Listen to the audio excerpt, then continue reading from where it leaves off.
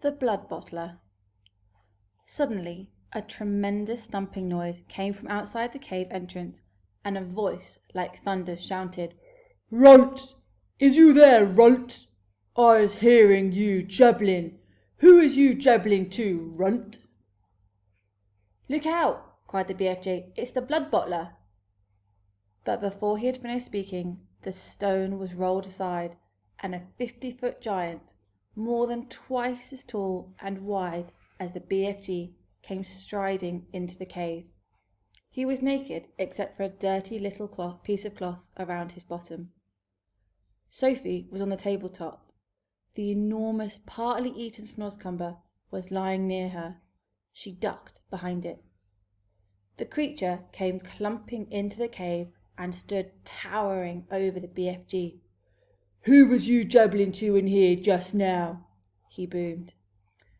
I is jabbling to myself, the BFG answered. Piffle fizz, shouted the Bloodbottler. Bug swallop, he boomed.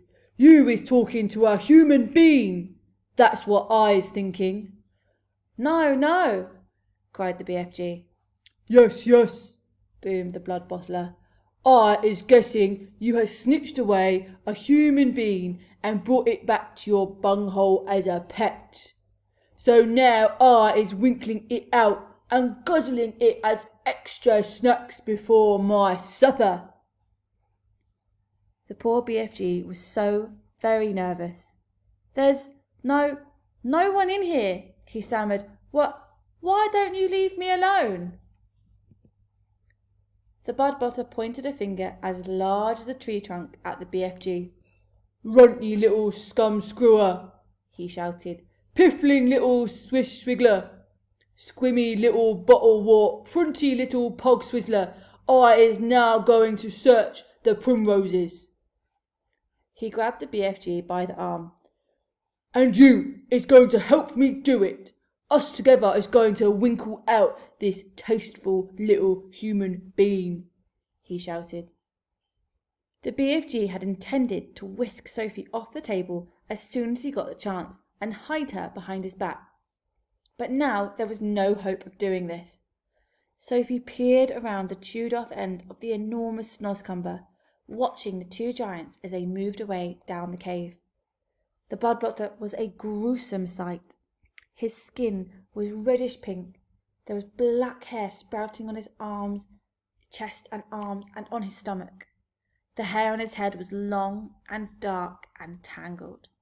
His foul face was round and squashy looking. The eyes were tiny black holes. The nose was small, but the mouth was huge. It spread right across the face, almost ear to ear, and it had lips that were like two gigantic purple frankfurters lying one on top of the other. Craggy yellow teeth stuck out between the two purple frankfurter lips, and rivers of spit ran down over the chin. It was not in the least difficult to believe that this ghastly brute ate men, women, and children every night. The Bloodbottler still holding the BFG by the arm, was examining the rows and rows of bottles. You and your pibbling bottles, he shouted. What is you putting in them? Nothing that would interest you, the BFG answered. You is only interested in guzzling human beings.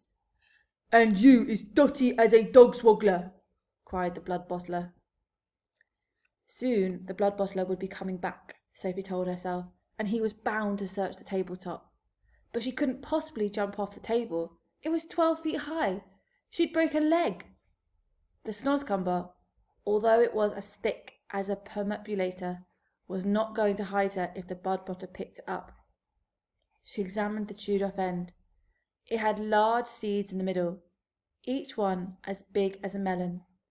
They were embedded in soft, slimy stuff. Taking care to stay out of sight, Sophie reached toward and scooped away half a dozen of these seeds. This left a hole in the middle of the snozzcumber large enough for her to crouch in so long as she rolled herself up into a ball. She crawled into it. It was wet and slimy hiding place. But what did that matter if it was going to save her from being eaten? The Bloodbottler and the BFG were coming back towards the table now. The BFG was nearly fainting with fear. Any moment, he was telling himself, Sophie would be discovered and eaten. Suddenly, the Bloodbottler grabbed the half-eaten snozzcumber. The BFG stared at the bare table. Sophie, where is you? he thought desperately. You cannot possibly be jumping off that high table. So where is you hiding, Sophie?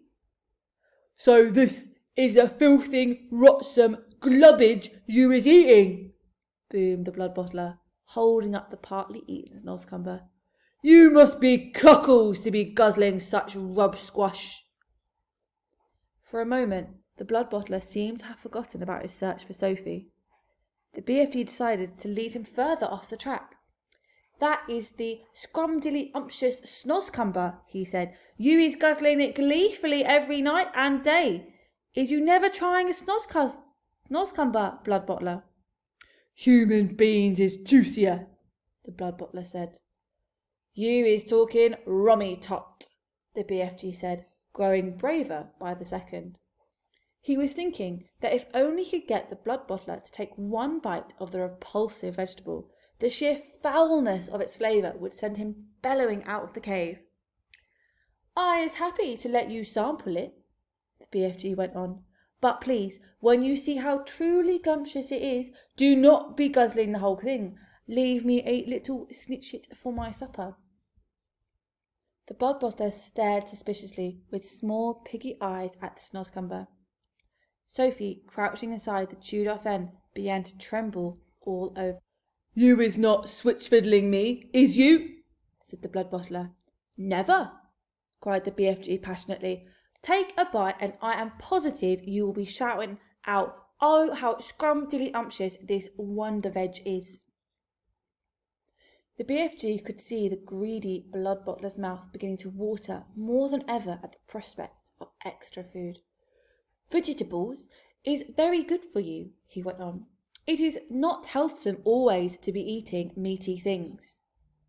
Just this once, the Bloodbottler said.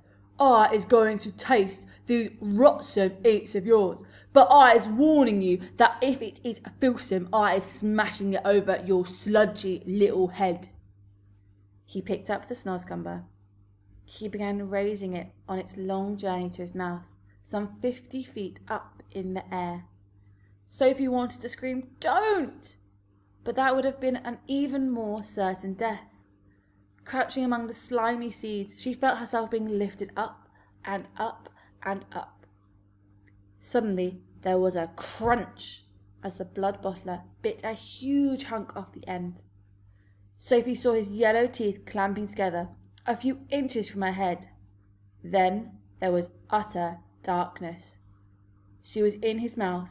She caught a whiff of his evil smelling breath. It stank of bad meat. She waited for the teeth to go crunch once more. She prayed that she would be killed quickly.